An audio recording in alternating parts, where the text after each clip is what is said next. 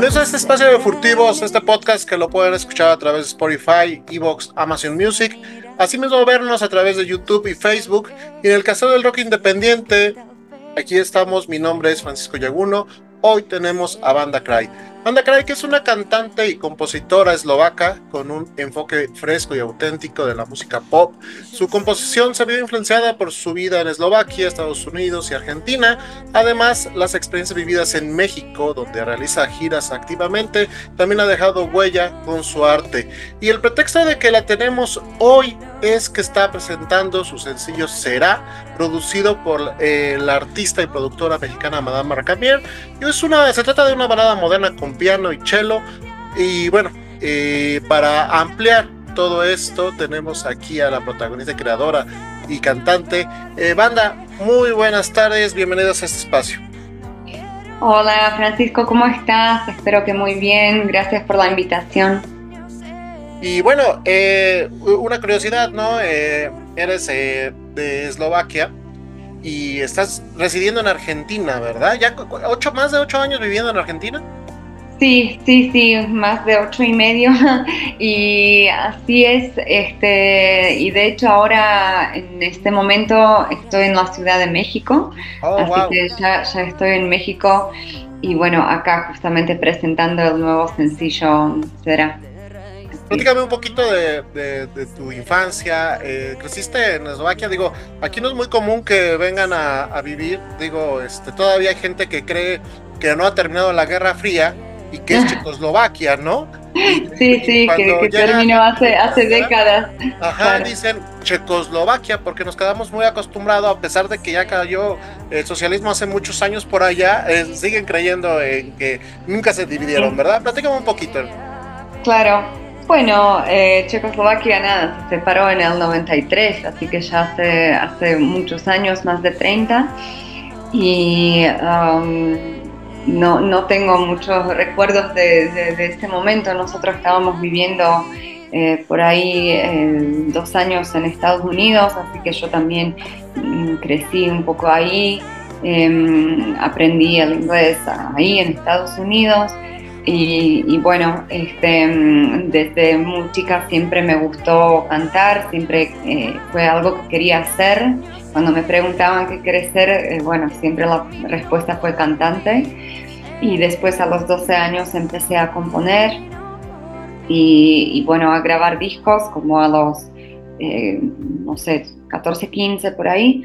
Y, bueno, ahí ya eh, quedó establecido que, es lo que quiero hacer y la, la, manera con la que me quiero expresar, que es por a través de mis propias canciones y a través de mi música. Claro, y bueno, ¿y por qué sabes de destino llegas a Latinoamérica? Porque bueno, tienes un excelente español, también un excelente inglés, ya te escuché cantar en inglés.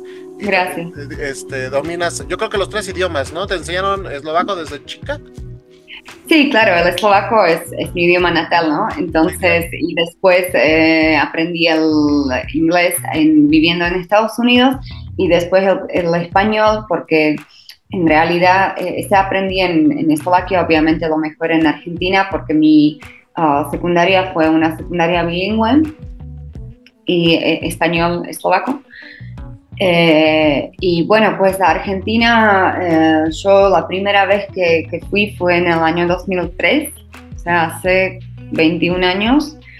Eh, era por un intercambio y bueno, por las vueltas de la vida y por, por, mi pareja también me, me terminé mudando a Argentina y ahí estoy como viviendo los últimos casi nueve años, bueno, ocho y media.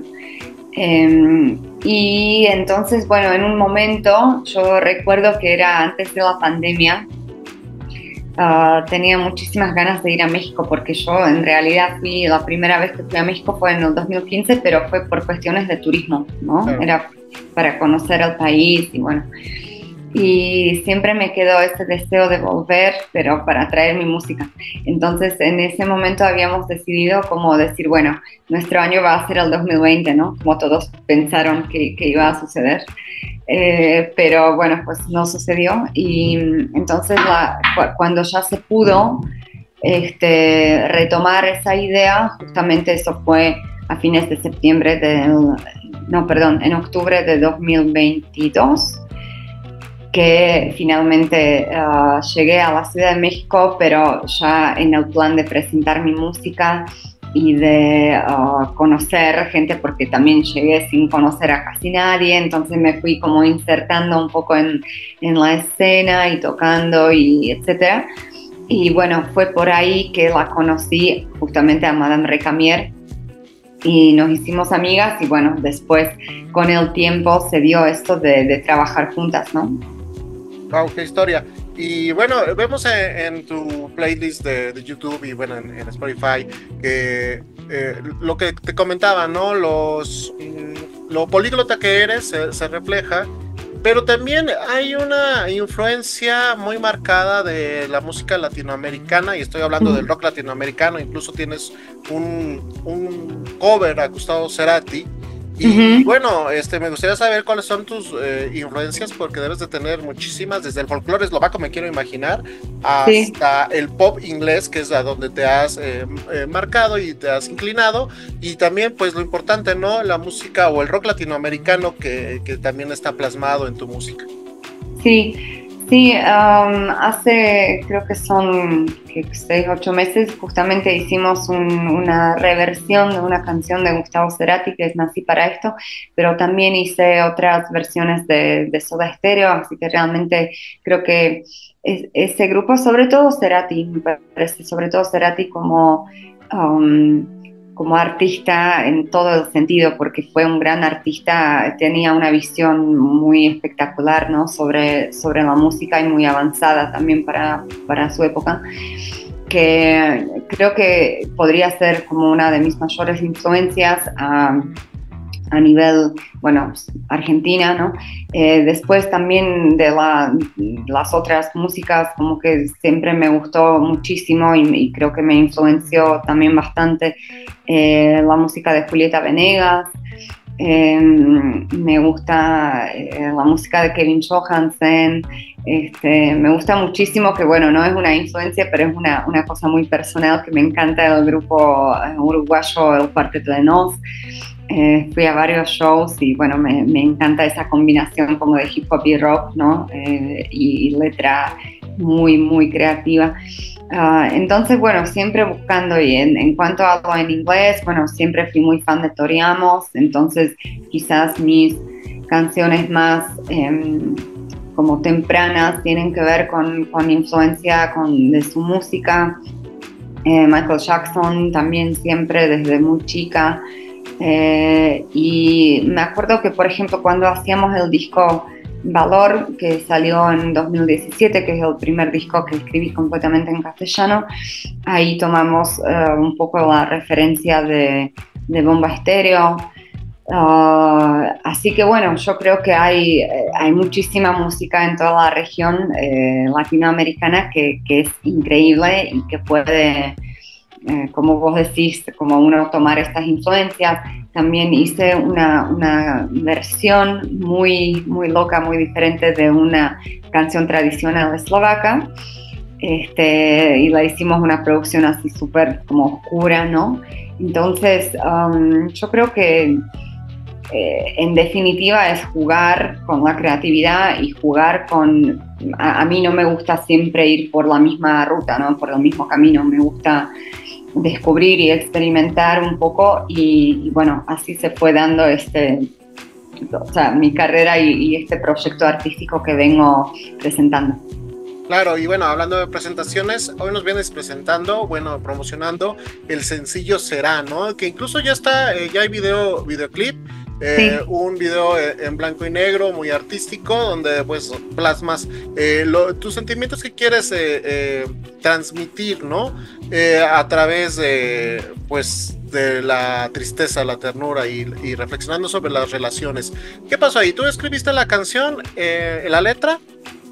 Sí, yo escribí la canción, la música y la letra. ¿Qué te hizo tanto daño? no sé si fue daño, pero es, es, una canción como que no la, no la siento tan triste, más bien nostálgica, o sea, me parece muy amorosa.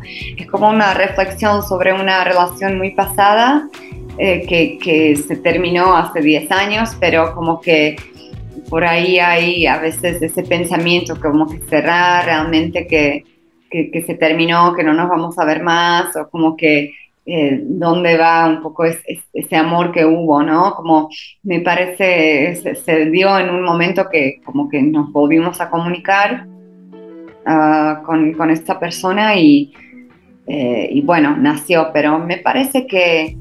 Mm, al escucharla creo que invita más eso a pensar y, a cierta nostalgia, pero no desde el lado como de sufrimiento y de tristeza, sino de, de un lado amoroso, ¿no? De un recuerdo y quizás un pensamiento como que que algo pudo haber sido, pero no fue. Entonces imaginarnos, bueno, pero tal vez si hubiera sido, que, hubiese pasado, ¿no? Y, todo eso. Así que yo lo veo a través de, de esa como línea. Y mm, sí, como decís, el video ya está disponible. También los eh, invito a que lo, que lo escuchen, o sea, que lo vayan a ver. Eh, lo pueden encontrar en mi, canal de YouTube, que es Banda Music Oficial. También los invito a que um, se sumen a mis redes. Me encuentran en Instagram como banda, banda con V, eh, banda.music. disculpa, este, ¿qué, es este tu nombre? ¿Qué significa? Claro, mi nombre artístico es Banda Cry y bueno, Banda es mi nombre real, creo que no significa nada. Eh, busqué significados, pero no encontré. Eh, sé que es un nombre que proviene del polaco, o sea, de, Polonia, que está pegadita a Eslovaquia, ¿no? Claro. Y, um, y el CRAI justamente, me, yo antes, bueno, hice un cambio de nombre porque antes solo era banda y era muy difícil como de explicar que por qué banda y, y como que parecía un poco incompleto. Entonces también tomamos esa decisión de abreviar un poco mi apellido y poner el CRAI, que es K-R-A y latina. Así lo pueden buscar como banda CRAI con K en todas las plataformas.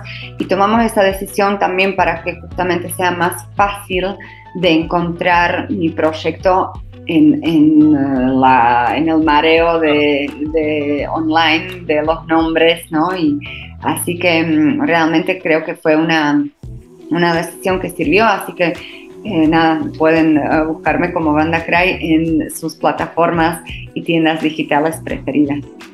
Sí, claro, y bueno, este, comentando del video, este, me gustó mucho por el sentido artístico que le diste, el blanco y negro, que creo que le vino bien al video y pues con este, todo, pues, este, ¿cómo fue este, eh, ideas tuyas de dirección, colaboraciones?